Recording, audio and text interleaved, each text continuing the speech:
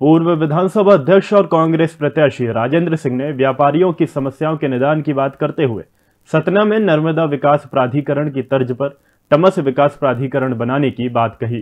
सर्वे व्यापारी सम्मेलन का आयोजन कांग्रेस ने अमरपाटन में किया, जहाँ पूर्व विधानसभा उपाध्यक्ष व कांग्रेस पार्टी के प्रत्याशी राजेंद्र सिंह ने व्यापारी लोगों से समर्थन मांगा, जहाँ अमरपाटन से जुड़े मोहारी कटरा सर्कल हटने से उनसठ गाँव अमरपाटन विधानसभा से दूसरी विधानसभा में चले गए थे। जिससे व्यापारियों को व्यापार में हानि हो रही थी, जिसे कांग्रेस प्रत्याशी द्वारा दो बार अमरपाटन में जुड़वाने की बात कही गई। राजेंद्र सिंह ने कहा, कांग्रेस की सरकार आने पर नर्मदा विकास प्राधिकरण जैसे सतना ज़िले के लिए टमस विकास प्राधिकरण बनाया जाएगा। यहाँ से लगभग 60-70 गाँव कट कर इस इलाके से रामपुर बघेलान में जुड़ गए हैं।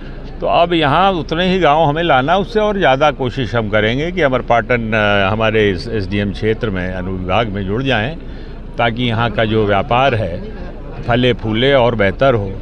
ये मेरी कोशिश। अब ये तो नतीजे बताएँगे, लेकिन आए थे, काफ़ी लोग आए थे मेरी बातें सुनी, मैंने अपनी अपनी बात रखी, निवेदन किया, आग्रह किया लोगों से, परिणाम बताएँगे।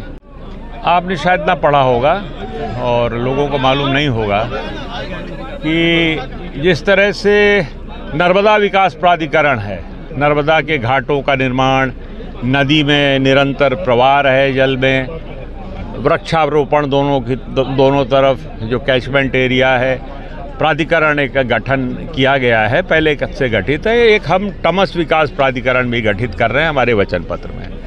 फिर है रण की तैयारी। कौन है किस पर भारी? हर तरफ़ बेरोजगारी। किसकी है ये ज़िम्मेदारी? हम दिखाएँगे सिर्फ़ सच।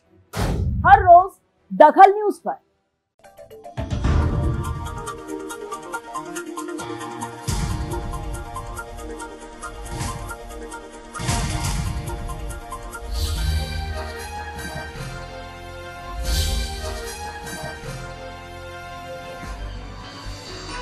आप देख रहे हैं दखल न्यूज़।